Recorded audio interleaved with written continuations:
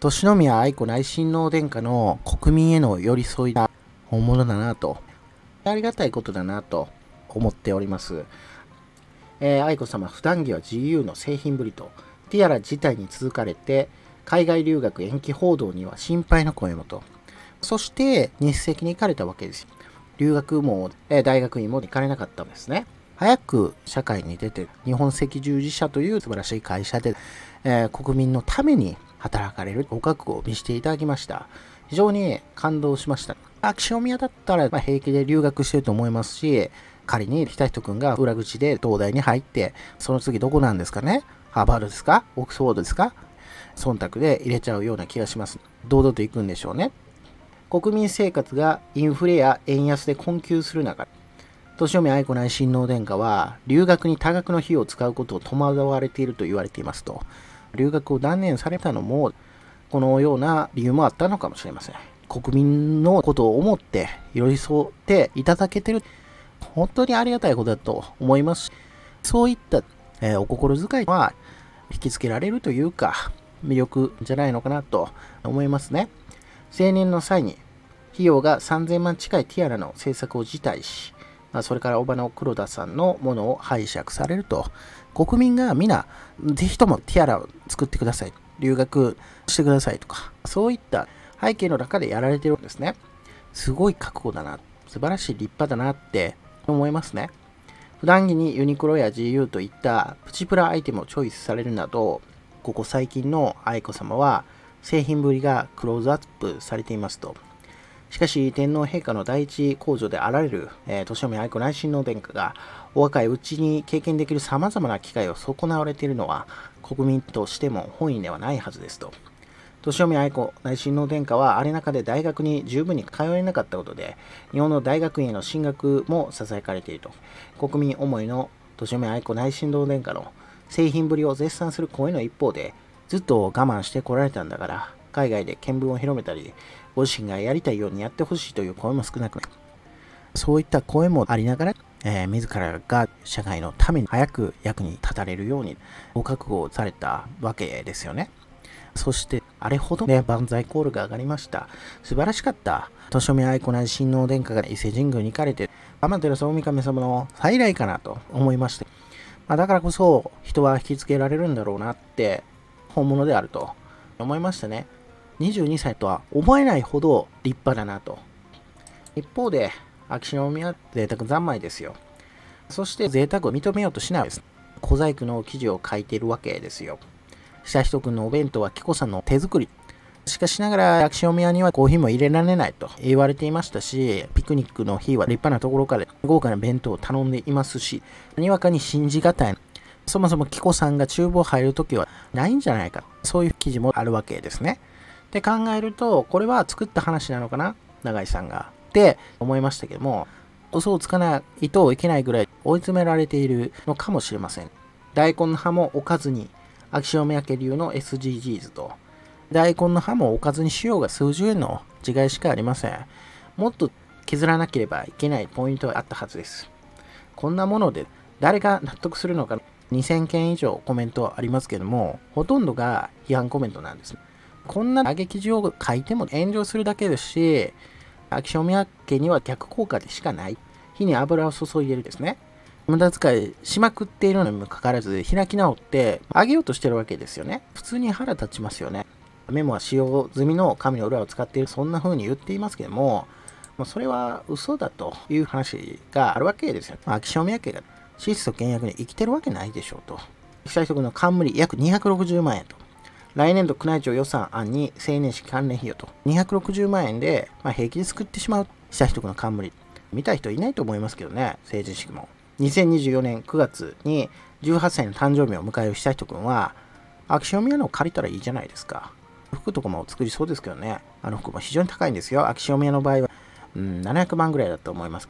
成年皇族としての儀式で天皇陛下から冠を授けられると。大根の葉をケチしたとしても50円ぐらいしかならないですから、50円の節約してる人間がですね、なぜ5、60億の邸宅を建ててるのか、なぜ260万円のたかが冠を簡単に計上してくるのか疑問ですよね。年宮愛子内親王殿下は、ティアラをね、我慢されてる、借りられてるわけですよ。秋潮宮さんがいらっしゃるわけですから、父上に頼ればいいじゃないですか。秋潮宮のポケットマネーから出せよと。当然、宮廷費から出されるんでしょうね。そういった無駄遣いがいっぱいあるから、秋潮宮家が要因として宮廷費が伸びてるわけですよね。どれほど国民をバカにしてるのかなって思いますし、まあ、なおかつこれも気になって、秋潮宮家をはじめとする皇族方の活動のため、定額で支給される皇族費は悠仁君の成人となって約400万円増えると。これもごまかしがあるんですよ。FNN プライムオンライン。9月に成人されるわけですけど、月割りでもらうわけですね。悠仁君は今305万円皇族費をもらってると思いますが、これが成人になれば915万円になるわけですね。ただの高校生、しかも裏口で東大入ろうとしてるのに、915万円ももらえるとわけです。まあ、しかも非課税ですよ。バカにしてるんですかと。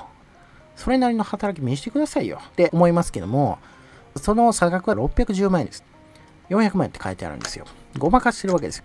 どういうごまかしかっていうと、9月から月割りでもらうんですね。ケチですよね。いやいや、4月からもらったらいいじゃないですか。まあ、そしたら400万円浮くわけですよ。その400万円を計上してるわけです。まあ、9月からもらい始めますから、4月基準で考えると大体8ヶ月です。なので、610万円かける3分の2で406万円ぐらいですかね。あですから、約400万円と計算してるわけですよ。すごいケチじゃないですか。だから誠実さがないって思われるわけですよ。こんな記事なんて信頼されないわけですよ。それ分かった方がいいのかなって思いますね。全部見破ってるわけですよ。国民アホじゃないですよ。ネットもあります。一瞬で拡散されるわけです。秋潮宮のね、プロパガンダはもう通用しない。まあ、ですから、真摯に反省されるべきだし、こういう記事を書くんならば、冠も作らないんですよね。皇族費ももらわないんですよね。それが正解じゃないんですか？って思いますけど。そしてそんな背景の中、本当に感動したわけですけども、サムネにあります、年嫁愛子内親王殿下のバッグ、これ8年前から使われてたと。これこそ本物の質素倹約じゃないですか。質実合憲だと思うんですね。まあ、それがね、ネット上で話題になってます。女性自身がね、記事にされていました。橿原神宮前、駅から帰路に疲れた年嫁愛子内親王殿下と、実はこの日お持ちになっていたバッグに注目が集まっていると。年宮愛子内親王殿下がお持ちになっていたのは、お印の御用ツツジが、えー、描かれた水色のハンドバッグですと。16年当時中学3年生だった年宮愛子内親王殿下が、天皇皇后両陛下と共に初めて神武天皇陵を参拝された時もお持ちになっていらっしゃったと。その時はストラップをつけて肩掛けにされていらっしゃいましたと。それがこちらの画像。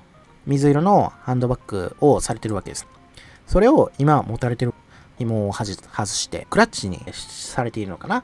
この画像から8年経ってるわけですよ。しかも、神武天皇陵のご参拝なんですよね。ご家族で行かれた時のお写真ですよ。すごい伏線回収だなって思いました。年嫁愛子内親王殿下は、物を大切されるお方だなって思いましたね。めちゃめちゃ綺麗じゃないですか。8年経ってるとは思えないんですよ。それだけ大切にされるっていうことですよ。なかなか8年持たしたものないですからね。申し訳ないんですけども。うん、ない、ないです。パソコンも5年ぐらいしたし、壊れますし、バッグなんて8年持ったものだってないですよ。8年も使ってたら、ボロボロになってるのが普通ですよ。全然それを感じない。18年5月3日に栃木県の御陵牧場へお出かけになった際にもお持ちになられて、思い出の品として大切にされてるんでしょうと。そういう気持ちが大きく伝わるわけです。なかなかできることじゃないですよ。SNS でも、年梅愛子内親王殿下のバッグが8年前のご訪問時と同じであることに気づく人が次々に投稿と、バッグを大切に愛用され続けるお姿に感動の声が集まったと。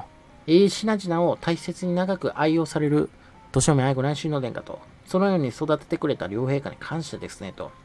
ちゃんと物を大事にする素敵ですねと。は、そんなに長い間ご愛用になられてたんだなと。物を大切にする年嫁愛子内親王殿下ますます素敵と。マスコ様もお召し物やアクセサリーをリフォームやお手入れをされながら繰り返し使われていると。年嫁愛子内親王殿下もそうしたご姿勢が受け継がれているんでしょうと。見習うべき、ね、価値観、姿勢だなって思いましたし、学習院の教えである質実合憲かなって思いました。単なる使用品という考えではなく、思い出の品として大切にされていると思うんです。バッグに対して深い愛着を持たれているともう質実合憲の生活態度の表れじゃないのかな。すごく感動しました。こういった姿勢があるからこそ、年前愛子内親王殿下はティアラも辞退されたんでしょうし、留学も大学に進学もされずに、ご就職されて、早く世の中に出て、国民に寄り添われるご覚悟をされたんだろうなって。この方こそ次期天皇陛下の器であると思いました。ではコメントですね。知性、美しさ、穏やかさ、すべてにおいて、年を宮様素敵ですと。